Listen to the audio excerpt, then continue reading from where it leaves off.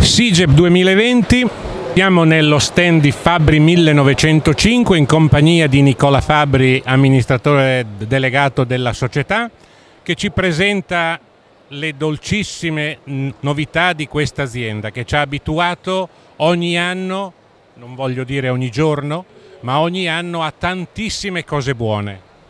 Grazie, buongiorno a tutti. Siamo qua in un angolo dello stand in cui si parla delle, dei dolci del mondo.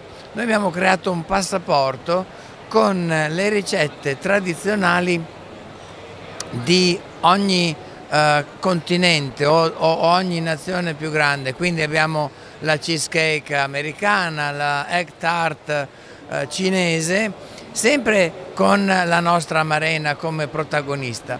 Però diciamo come novità abbiamo una, un prodotto molto interessante che è una vera e propria novità nel settore.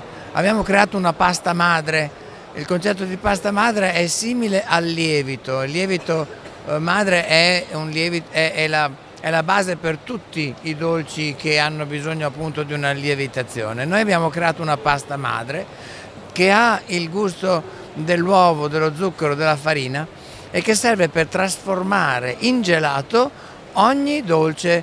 Ehm, io penso immediatamente ai dolci patronali o ai dolci tipici eh, della tradizione italiana, la sfogliatella, il, il, pasticciotto, la tenerina, ecco ci sono 8.000, eh, più di 8.000 comuni italiani, ci sono più di 8.000 dolci eh, della tradizione. E tutti questi possono essere trasformati in gelato usando la pasta madre che si chiama Nonna Rachele in omaggio alla moglie del nostro fondatore, la mia bisnonna.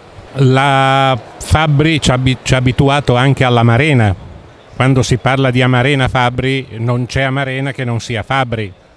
Beh, l'Amarena è diventata un'icona non solo della nostra azienda ma della uh, produzione alimentare italiana. Nell'immaginario collettivo la si associa proprio a Fabri.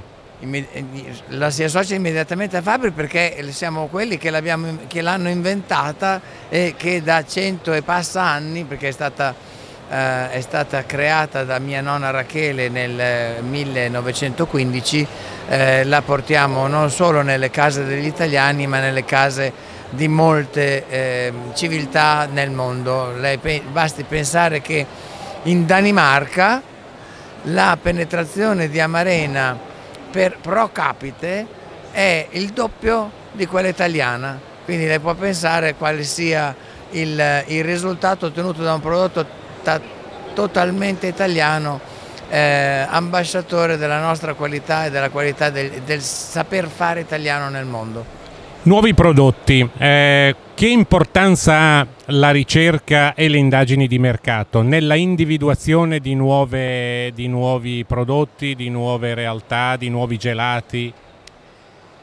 Dunque la, eh, il, il, la maggiore fonte di ispirazione eh, per noi non sono solo le eh, indagini di mercato, ma sono le esperienze che noi eh, abbiamo essendo presenti in più di 100 paesi nel mondo.